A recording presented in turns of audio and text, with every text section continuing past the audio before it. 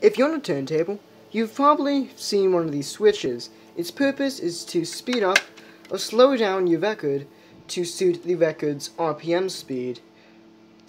And if you're like me, you've probably wondered why. Why does this very old Decca run at a much faster speed than this 45?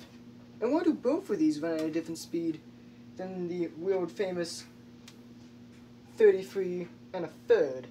And where do these speeds even come from? Well, let's find out.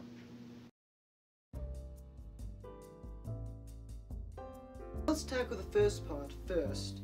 Why are the different speeds? It's hard to explain this, so I'm going to give you the in a nutshell version, which is the faster the record, the better quality of music you're going to get. For example, one second of music on this Sgt. Pepper's album would take about, which yeah, which runs at 33 RPM, would take about half the record on one groove to complete that second.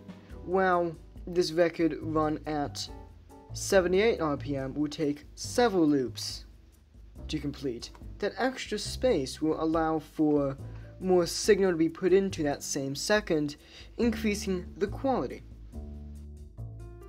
Hopefully all that made sense, but that is why records like this really old Decca run at such a fast pace, 78 RPM.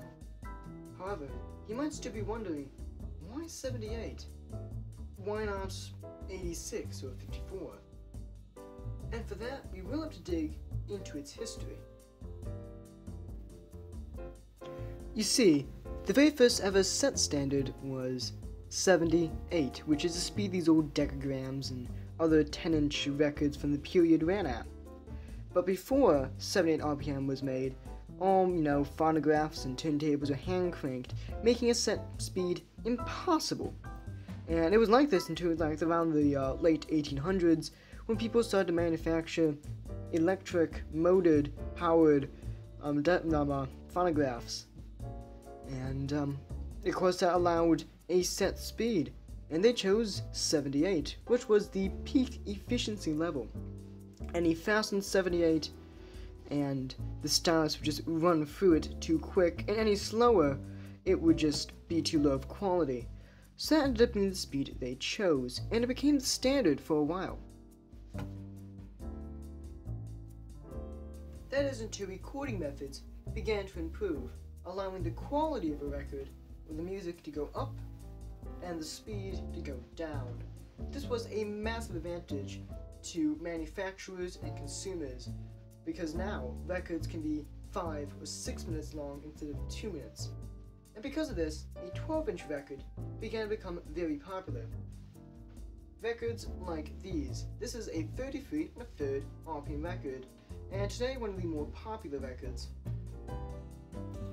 These records were extremely popular in the 40s and 50s, and remained popular for quite some time, being the flagship record, if you will, today.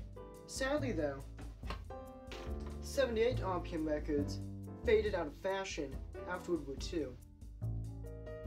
This leaves us with our final record, 45 RPM. And 45 is a bit hard to explain. Back in the 60s, 50s, and 40s, around there, RCA and Columbia, two big record making companies, were kind of at a rivalry, with Columbia's 33 and a third RPM doing great and RCA's not doing so great. So now RCA decided to put out a smaller 45 um, RPM. This new 7 inch record, which ran at 45 RPM, hence the name 45 RPM Records, was smaller, more compact, and because of the higher speed, higher in quality. This new record, because of those features, soon grew in popularity, and soon manufacturers for record players and turntables began to include settings for both 45s and 33s. This record is called a single because it has one song on each side, a singular song. Hence the name once again. And this song is usually the main song of an album that came out. For instance, um, some Sgt. Pepper's would have the main song of that album on the 45. I'm not sure what the main song is. Leave in the comment section if you know. But that is 45s in a nutshell.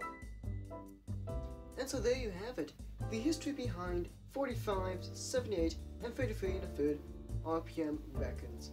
Thank you for watching, and before you go, for those who have subscribed to my channel and are a regular viewer, I've had this crazy idea about changing the name to The Vintage Duck. It suits the channel a lot better. Either way, I'd love to hear your opinion. Leave it in the comment section. But until next time, keep it all good, and I'll see you then.